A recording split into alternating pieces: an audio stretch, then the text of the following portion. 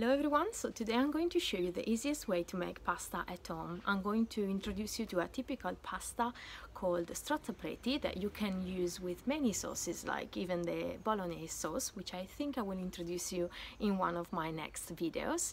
And if you're interested in uh, knowing more about how to make this recipe, please keep watching. And if you like the video, uh, don't forget to subscribe, comment and give me a thumbs up.